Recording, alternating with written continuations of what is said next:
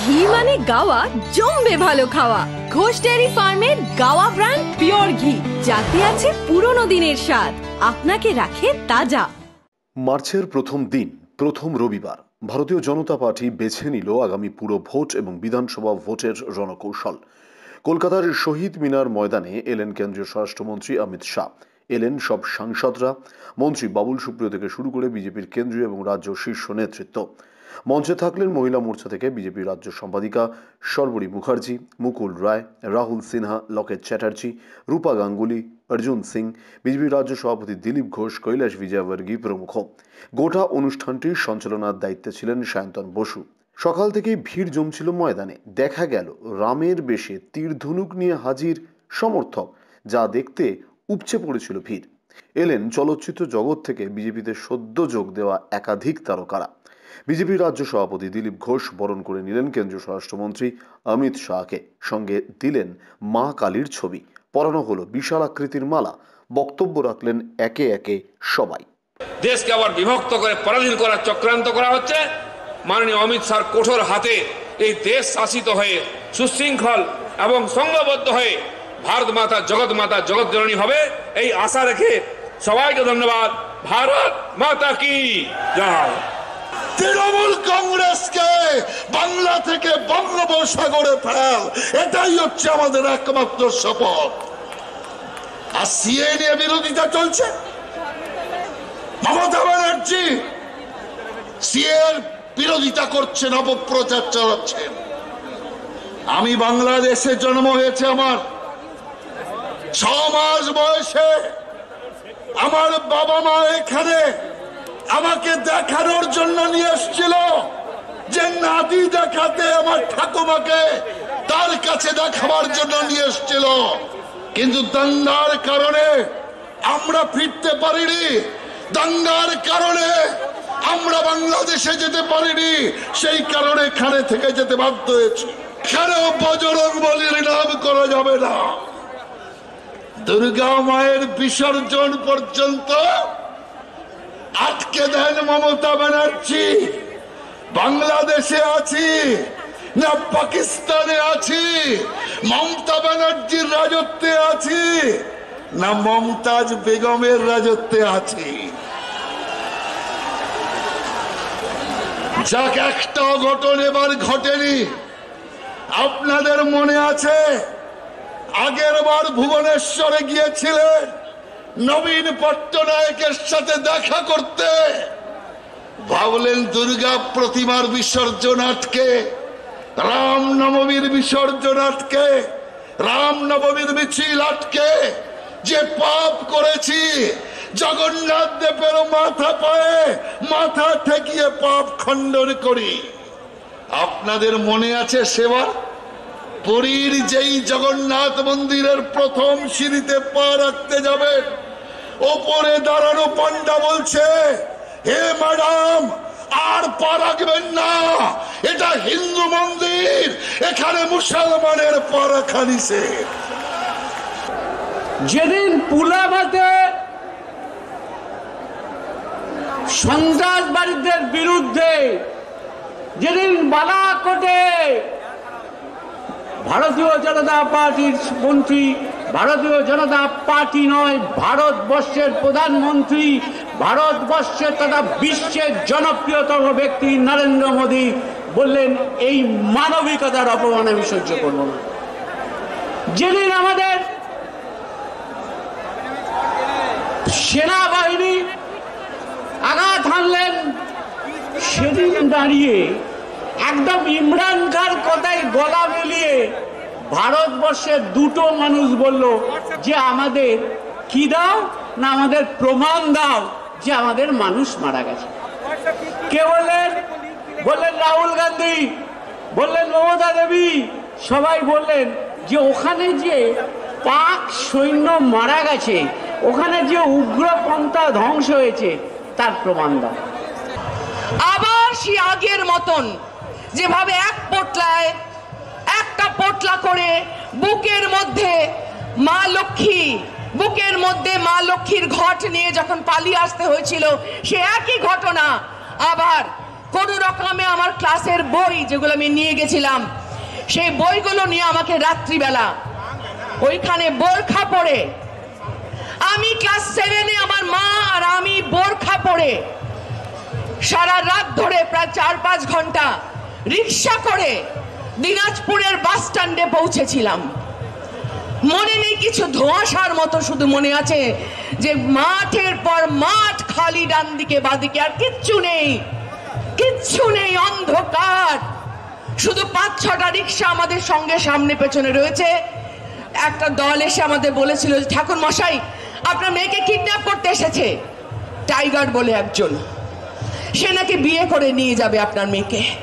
Kidnap করবে। মা বলল, না, এটা হতে দেব না। এটা কিছুতেই হতে দেব না। আমি তো তখন অত কিছু জানি না।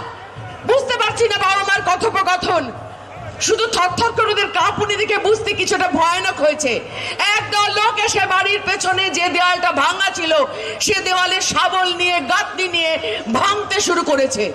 কোন রকমে একদল লোক এসে, আরেক দল লোক এসে আমাদের সেই বোরখা দিয়ে রিক্সা ভাড়া করে আমাদের পালানো করালো ওখান থেকে। সেই রাতে আমরা দিনাজপুরে এসে পৌঁছালাম। আমি আর আমার মাকে একটা দিনাজপুরের বাসে তুলে দেওয়া হলো। তারপরে সে ভোরের দিকে হয়তো বাসটা ছাড়লো। আমরা ঢাকায় গিয়ে পৌঁছলাম।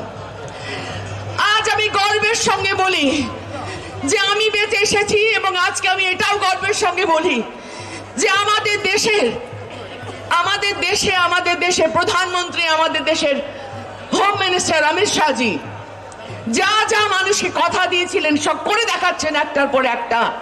অনেক মানুষ উদ্বাস্তু। এদেশে অনেক মানুষ উদ্বাস্তু। অনেক মানুষ আমাদের মতন বিপদে পড়ে চলে এসেছিল। আমার মার পাসপোর্ট ছিল, তাই আমরা বেঁচে গেছিলাম। তাই জন্য আমার পাসপোর্ট হয়েছিল। আমার বাবা মৃত্যুর আগের দিন পর্যন্ত বাংলাদেশের পাসপোর্ট ছাড়ায়নি।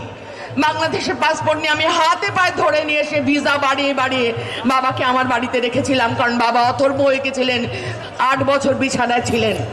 এরকম অনেক মানুষ আছে যাদের কাগজপত্র অনেক কাছা এদিক ওদিক হয়ে গেছে, কোন রকমে তারা পালিয়ে বেঁচে এসেছে। আজ তারা স্বস্তির নিঃশ্বাস নিচ্ছে। তারা জানে যে তারা আজকে এই দেশের, তারা এই দেশের নাগরিক। হলো লিখিত পরিত ভাবে তারা নাগরিক হতে চলেছে, তারা লিখিত পরিত ভাবে তারা এই দেশের মানুষ হিসেবে গণ্য হতে চলেছে। বিজেপি রাজ্য সম্পাদিকা সর্বরী মুখার্জি নিজে হাতে বরণ করে নিলেন সাংসদ থেকে শুরু করে সব কেন্দ্রীয় মন্ত্রীদের। এরপর বক্তব্য রাখলেন কেন্দ্রীয় স্বরাষ্ট্রমন্ত্রী অমিত শাহ। প্রথমেই বাংলার একাধিক মহান পুরুষদের শ্রদ্ধা জানালেন মন্ত্রী। বরণ করে নেওয়া হলো অমিত শাহকে।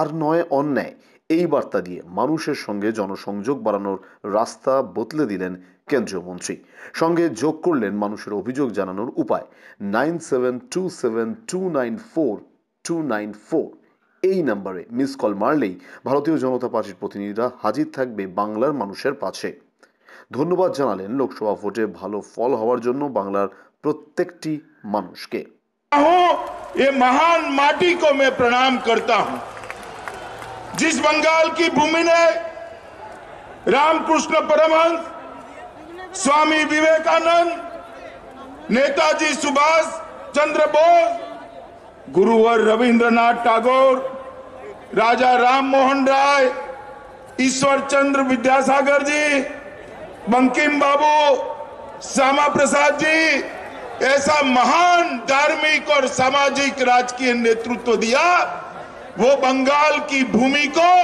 मैं बार बार प्रणाम करता हूँ।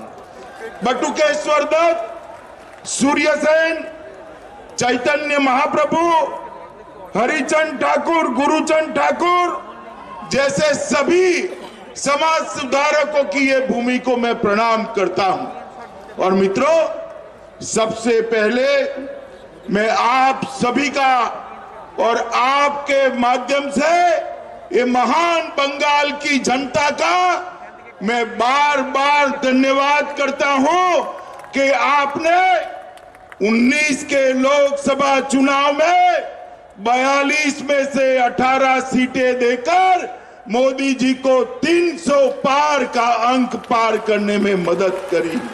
मगर मैं आज बंगाल की जनता को कहने आया हूँ, आप चुप मत रहिए। दीदी जब कहे दीदी के बोलो तो आप कहे, दीदी, आर नौ अन्याय, अब अन्याय हम सहन नहीं करेंगे। ममता दीदी को जवाब देना है। Nine seven, two seven, two nine, four two, nine four. मैं आज बंगाल की जनता को अपील करता हूँ, इस नंबर पर आप एक मिस कॉल दीजिए। बंगाल में जो चेतना की लहर उठेगी इस सरकार को उखाड़ कर फेंक देंगी और यहाँ पर भी एक बहुत सुंदर कमल खिलेगा जिस पर बैठकर माँ लक्ष्मी बंगाल को सोनार बांग्ला बनाने के लिए आएगी পাঁচ বছরে বিজেপিকে দিলেই সোনার বাংলা বানিয়ে দেবে ভারতীয় জনতা পার্টি এদিন ময়দানের মঞ্চ থেকে রীতিমতো হুঙ্কার দিয়ে গেলেন কেন্দ্রীয় স্বরাষ্ট্রমন্ত্রী। এখন দেখার বিজেপির মেগা এই জনসভার ভিত্তিতে বিজেপির কতটা নিজেদের ভোট ব্যাংকের ঘর গোছাতে পারে। দিদিকে বলার পর এবার বাংলা দেখতে চলেছে আর নয় অন্যায়, যা দিয়ে বিজেপি ঘরে ঘরে পৌঁছে যাবে তাদের জনসংযোগের বার্তা। ক্যামেরায় ঋত্বিকদের সঙ্গে রাহুল গুপ্তের report vox twenty four seven ময়দান। কম দামে আপনার মাথার ওপর ছাদ, গুণগত কাঁচামাল, সঙ্গে সঠিক প্ল্যানে তৈরি করা আবাসন হোয়াইট হাউস, মণিকাঞ্চন, রাধারানীর পর, এবার আরও নতুন আবাসন। আপনার ভালোবাসার সন্ধান মিলবে সহজেই। Apex enterprise Vivekanagar, middle road, Barasat. বিশদ জানতে ফোন করুন, nine double three zero double nine double four five six.